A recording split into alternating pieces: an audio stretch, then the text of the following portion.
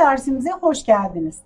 Bugünkü dersimiz eşitsizlik nedir, nasıl okunur ve nasıl çözülür? Hadi bakalım. Hadi bakalım. Evet, şimdi işaretlerden başlıyoruz arkadaşlar. X büyüktür Y.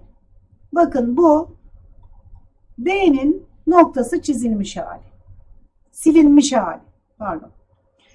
X büyük eşittir, büyüktür veya eşittir Y. Bu yine B'nin çizgisi silinmiş hali. X küçüktür Y. Küçüktür işareti K'nin çizgisi Silinmiş hali. silinmiş hali. X küçüktür veya eşittir Y. Yine K'nin çizgisi silinmiş hali. Küçüktürü büyüktürü karıştırırsanız baş kısmına bir çizgi çizerek doğru şekilde okuyabilirsiniz. Bir de şuna di- dikkat ediyoruz. Eşitlik ifadesi varsa, eşitsizliğin yanında yani ikinci bir çizgi varsa şuradaki ve şuradaki gibi çözüm kümesine bu nokta dahil edilir. Küçüktür veya büyüktür şeklinde ise eşitlik yok ise o zaman bu noktalar e, çözüm kümesine dahil edilmez. X küçüktür eksi 1 eşitsizliğini sağlayan en büyük tam sayı değeri kaçtır? Önce çözüm kümesini bulalım Beyza'cığım. Eksi 1 diyor. Eksi 1'i işaretliyorum. Küçüktür diyor. Küçüktür. Eşitlik var mı? Yok. O zaman içini boş bırakacağım. Küçüktür dediği için sol tarafı tarıyorum. Çözüm kümesi burası. Çözüm kümesi şurası arkadaşlar. Bu çözüm kümesinde en büyük tam sayı değeri nedir diyor. Şimdi bakıyorum eksi 2, eksi 3. Sayı doğrusunda sayılar sağa doğru büyür. Dolayısıyla eksi 3, eksi 5, eksi 2 bunların en büyüğü nedir? Eksi 2. Eksi 2. Eksi 1'i alamam çünkü eksi 1 dahil Değil. değil. Devam En büyük edelim. o zaman eksi 2. Evet en büyük eksi 2. Devam ediyoruz. X küçük eşittir 3'ten eşitsizliğini sağlayan doğal sayıların toplamı kaçtır? X 3'ten küçük eşittir. 3'ten küçük eşittir. Eşitlik olduğu için ne yapıyorum? Alıyorum. Küçük dediği için yine sol tarafı işaretliyorum. Çözüm kümesi burası. Şimdi Doğal sayıların toplamı. Doğal sayılar N harfiyle gösterilirdi. Neler vardı doğal sayılarda? 1, 2, 3. 1, 2, dört. 3, 4. Tamam. Peki sıfır var mıydı Beyza? Yoktu. Yoktu dedin. Ayvayı yedin çünkü sıfır vardı. Yedim ayvayı. Evet. Çünkü sıfır vardı. Sıfır doğal bir sayıydı. Mesela şu anda ekranda kaç tane fil görüyorlar? Sıfır. 0 tane. Sıfır tane. Sıfır doğal sayıydı ama sayma sayısı değildi. Atardım. Her neyse burada zaten e, sonucu değiştirmiyor ama başka soruda değiştirecek. Doğal sayılar dediği için şunları alabilirim ben. 1, 2, 3. Evet bunların toplamını yazacağım. 3. 0 artı 1 artı 2 artı 3. Buradan da ne yapacak toplam? 6. Ama bu soruda mesela sıfırı bilmemen sonucu değiştirmedi. Ama sana şunu sorsaydı doğal sayılar kaç tanedir deseydi yanlış yapardı. Sayı doğrusundaki aralıkları gösterelim. Şimdi uçtaki sayı dahil ise parantezi kapatıyoruz. Uçtaki sayı hariç ise açık parantez. Mesela şu aralığı okuyorum. 2 dahil 3 hariç. Gösterirsem 2 dahil 2'nin bulunduğu nokta kapalı. 3 hariç 3'ün bulunduğu nokta açık. Bir de şuna dikkat edeceğiz. Aralık soldan sağa küçükten büyüğe yazılır. Yani en küçük değeri en sola yazacağız. Sayı doğrusunda da sol sol taraf küçük, sağ taraf daha büyüktü. Aynı zamanda artı sonsuz ve eksi sonsuz ile bitiyorsa ya da başlıyorsa parantez bunları açık aralık olarak göstereceğiz. Hadi devam edelim.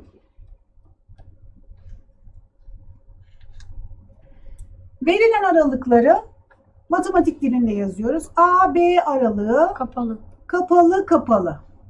Açık. AB kapalı açık. aralığı. A, B araya virgül koydum. A açık, B de açık. B de açık. A kapalı, B açık. A kapalı, B açık. Doğru oldun Beyza. Bunda da A açık, B kapalı. A açık, B kapalı. Hadi.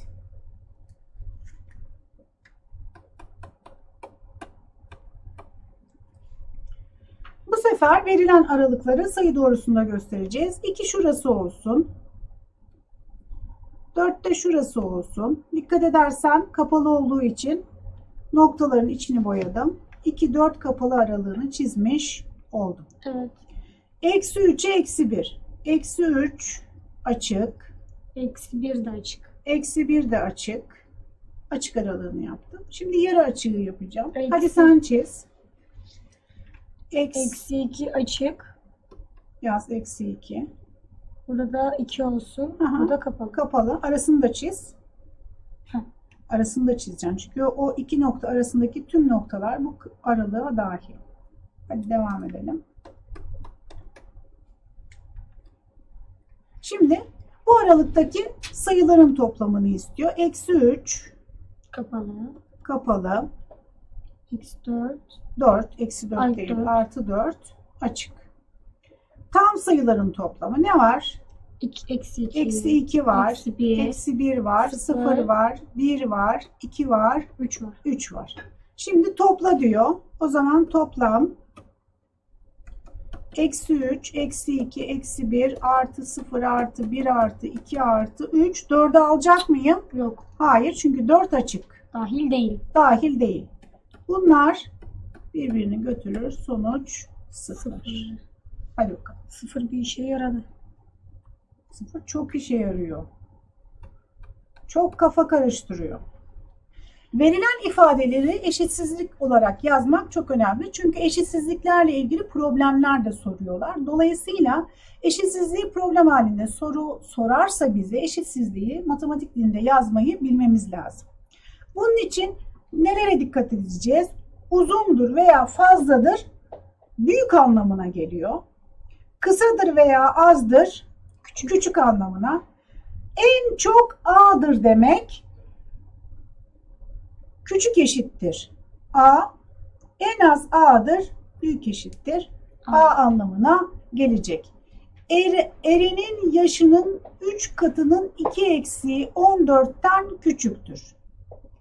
Erinin yaşının 3 katının 2 eksiği 14'ten küçüktür. Erinin yaşını bilmiyorum. Erinin yaşına x diyorum.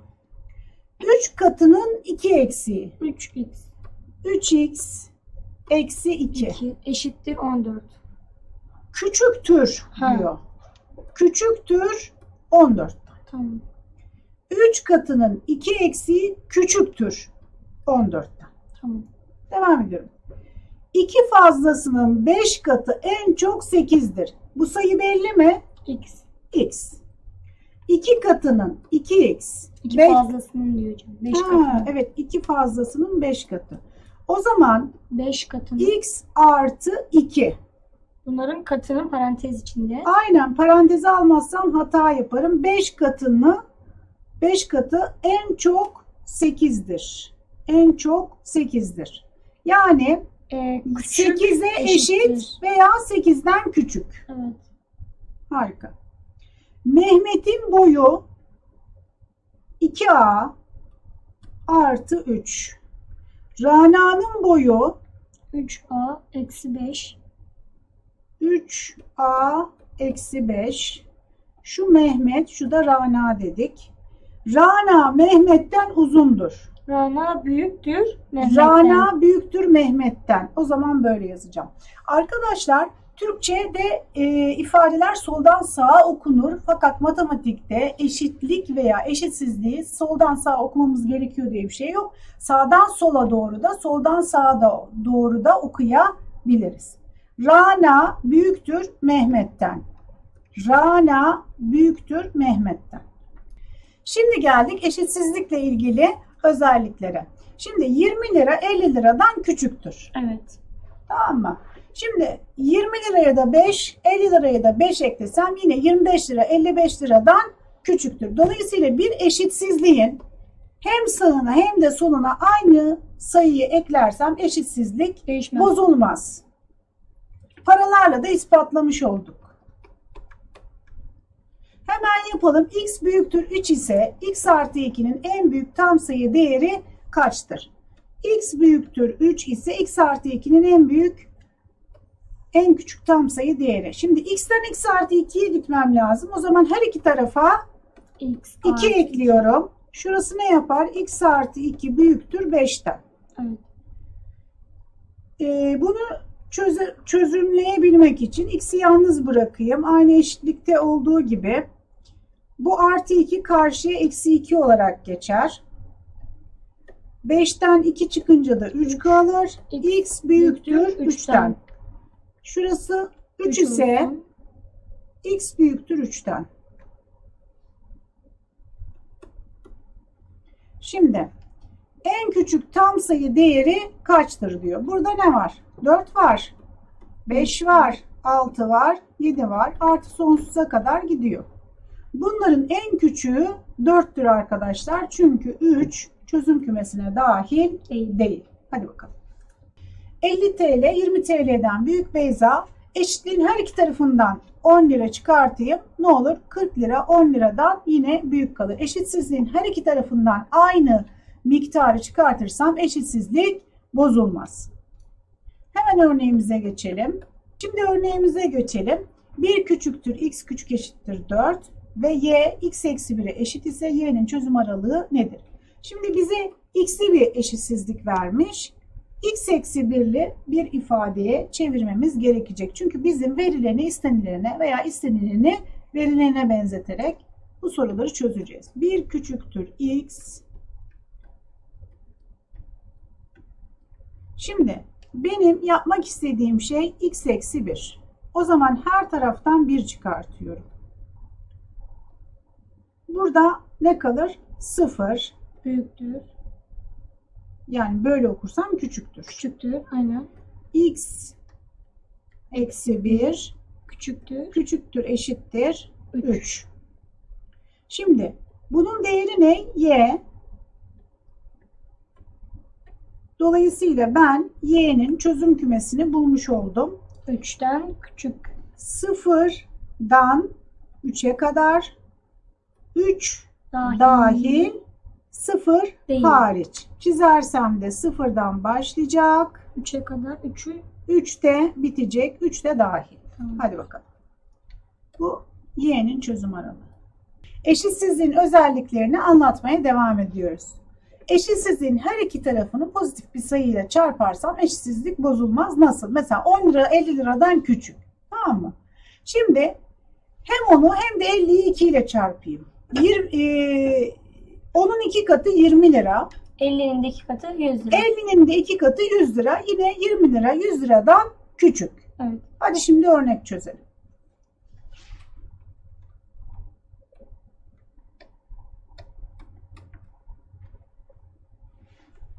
Evet. x büyüktür. x 3 bölü 2 ise 4x'in tam sayı olarak alabileceği en küçük değer kaçtır? Dolayısıyla x'li bir eşitsizlik vermiş bana. Benden 4x'li bir 4x'in durumunu soruyor. Dolayısıyla x büyüktür. 3 bölü 2'yi 4 ile çarpıyorum. 4 ile komple çarpıyorum. Ne yapıyor? 4x büyüktür. 3 çarpı Çarpı 4 bölü 2. O da 12 bölü 2'den 6. 6. 4x neymiş? 6'dan büyükmüş. En küçük değeri kaçtır? Bu tip soruları en kolay ve hatasız çözebilmeniz için çizmeniz lazım. 4x ifadesini arıyorum ben. 6'dan büyük. 6 şurası olsun. Eşitlik olmadığı için hariç büyüktür bakın. Büyüktür. Büyüktür de nereyi tarıyorum ben? Sağ taraf. Burada neler var? 7 var, 8 Sekiz var, var, 9 var, 10 var. En küçük dediği için 7. 6'yı alamam, içi boş 7. Evet. Yine eşitsizliğin Beyza her iki tarafını ikiye bölersem, iki pozitif olduğu için eşitsizlik eee, ne yapmaz? Bozulmaz. 10 20'den küçük, 10 bölü 2 5, 20 bölü 2 10, yine 5 lira 10 liradan küçüktür. Devam edelim. X küçük eşittir 5 ise x bölü 2 ifadesinin alabileceği doğal sayı değerlerinin toplamını soruyor. x küçük eşittir 5'ten x bölü 2 yapmam lazım. O zaman Her iki tarafı da ne yapalım? 2'ye bölelim. x bölü 2 küçük eşittir. 5 bölü 2 yaklaşık yaklaşık değil tam olarak 2,5 yapar. Şimdi doğal sayı değerleri toplamını soruyor. Şurası 0 olsun, şurası 1 olsun, şurası 2 olsun, şurası 3 olsun. 2,5 2 ile 3'ün arasıdır. Doğru mu? Evet. Eşit dediği için burayı alıyorum. Küçük dediği için Sola. sola doğru alacağım.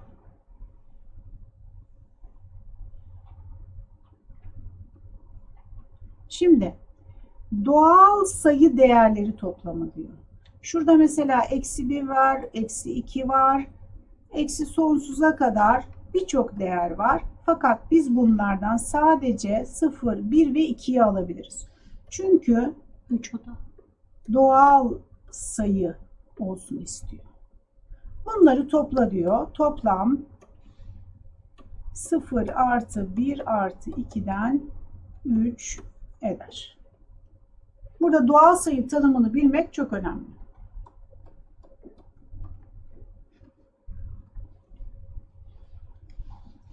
Şimdi biraz daha karıştırdık. Hem çarpma hem çıkarma var.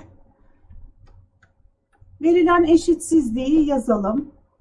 Ben 2x eksi 3 elde etmek istiyorum. O zaman önce 2 ile çarpayım. Her tarafı çarpacağım. 2 küçüktür 2x küçüktür 4 kere 2 8. Sekiz. Şimdi 3 çıkarmam lazım. Her yerden 3 çıkartıyorum Beyza. Ne yaptı? Ortası 2x eksi 3. Üç. İstenileni elde ettim mi? Evet. Evet. 8'den 3 çıktı 5. Ee, bir. eksi 1. Eksi 1 küçüktür. Burasına da y demiş soruda. 5. Çözüm aralığı nedir diye soruyor. Eksi 5, eksi 1'den başlayacak.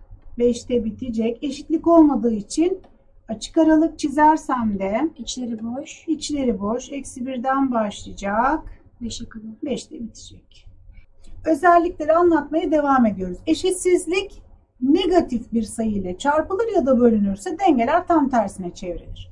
Mesela 500 TL 10 TL. 500 TL 10 TL'den büyük. İşler tersine döndü. Yani bu TL'ler kredi kartına döndü. 500 lira borcum var. Benim 500 lira senin 10 lira borcum var. Bu sefer eksi 10 yani 10 lira borç 500 lira borçtan daha büyük olur. Dolayısıyla negatif bir çarpım ya da bölen eşitsizliği tam tersine çevirir. Yani eşitsizliğin dengesini bozar. Hadi bakalım. Şimdi arkadaşlar kısaca eşitsizlikleri nasıl çözeceğimizi özetliyoruz. Aynı denklem çözer gibi x'i eşitsizliğin bir tarafında yalnız bırakıyoruz. Beyza. Değişkenin önü her zaman pozitif oluyor. Kesinlikle pozitif oluyor. En son eşitsizliği değişkenin olduğu taraftan okuyoruz. Değişkenin olduğu taraftan illa soldan sağa diye okumamıza gerek yok. Arkasından sayı doğrusunda çiziyoruz. Eşitsizliğin olduğu kısmı işaretliyoruz. Büyüktür varsa sayı doğrusunun sağını, küçüktür varsa sayı doğrusunun solunu boyuyoruz. En sonunda aralığı yazıyoruz. Hadi çözelim. 2x eksi 3 küçük eşittir 5. 3'ü karşıya atarsam artı 3 olarak geçecek ki burası 8 yapacak. 2x Burası da her iki kadar. tarafı 2'ye bölersem ikiler gider. x küçüktür eşittir 4'ten. Hemen 4 yazıyorum. Sol tarafa. Küçük dediği için. Aynen sol taraf küçük. Boyuyorum. Burası eksi sonsuzdur. Burası artı sonsuzdur. Şimdi bir eksi sonsuz bir 4 yazacağım. Soldan sağa doğru sayı doğrusundaki sırayla yazacağım. Aralıkları eksi sonsuz 4. 4 kapalı. Sonsuzu nasıl yazı göstereceğim? Açık. Açık. Sonsuz açık. Kimse sonsuza kadar gidip kapıyı kapatamaz değil mi Beyza? Sonsuzların kapısı açık kardeşim. Evet. Hadi bakalım. Denklemi yazıyorum. 2x eksi 1 bölü 3 büyüktür 5. Şimdi burada benim amacım x'i yalnız bırakmak. 3'e bölüyorum. 3 karşıya çarpan olarak geçer. 2x eksi 1 5 kere 3 kaç yapar? 15. 2x eksi 1 büyüktür 15'ten. Eksi 1 Karşıya artı 1 olarak geçer. 16. 2x büyüktür 16. Her iki tarafı 2'ye bölersem Sekiz. x büyüktür 8. 8. Eşitlik olmadığı için içi boş. x büyüktür o zaman sağ taraf. Sağ taraf Artı Sekiz. sonsuz. Artı sonsuz. Sayı doğrusundaki sırayla yazıyorum. Burası da açık. Sonsuz zaten açık. Hadi.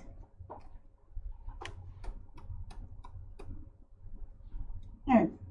Eşitsizlikte bilinmeyenler birden çoksa o zaman ne yapacağız? Hırsızlar çoksa ne yapıyorduk? Yan yana toplayıp kafalarına Yok bir tane e, sert bir cisimle vuruyorduk. Tamam. Önce yan yana toplayacağız. Yan yana getireceğiz. Evet bu eksi eksi artı x olarak buraya getireceğiz. 2x eksi 5 küçüktür. Ee, eksi x. Eksi x buraya ne olarak gelecek? Artı x.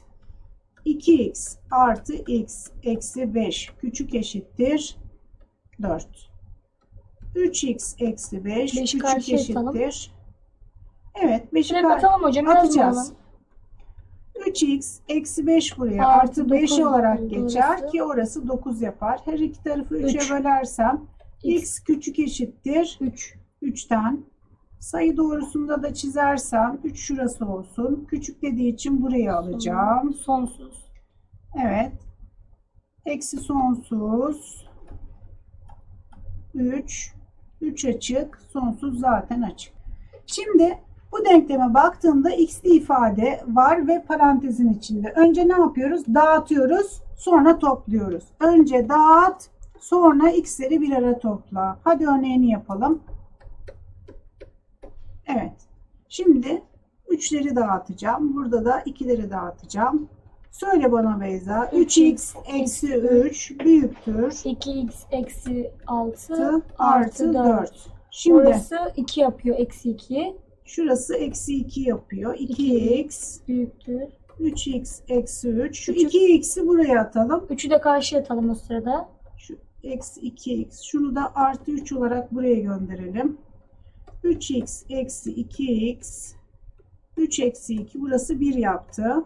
Orası da 1 Burada yaptı. x yaptı. x büyüktür 1'den. Birden başlıyoruz. 1 büyüktür. O zaman sağ. Sağ. Artı sonsuz. Artı sonsuz. 1 virgül sonsuz. İkisinin 1 kapalı. yok. Eşitlik yok. Eşitlik yok. Ha o zaman Açık. açık. Bitti. Tamamdır. Evet arkadaşlar basit eşitsizlikleri birlikte çözdük. Bir dahaki dersimizde görüşmek üzere. Önce izliyoruz. Arkasından işlem yaparak izliyoruz. Hoşçakalın.